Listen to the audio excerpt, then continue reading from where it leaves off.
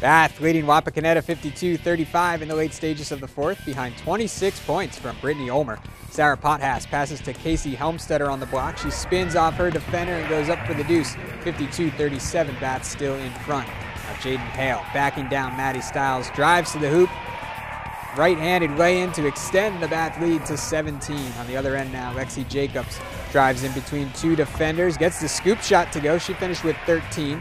Jacobs driving in the lane again, kicks it out to Megan Fisher in the junior drives, takes the contact, gets the bucket to go, goes to the line for the old-fashioned three-point play. 13 for Jacobs, but Bath wins 57-44, 12 of 19 from behind the three-point line. Mentioned Brittany Ulmer's 26, Heidi Craddock with 13.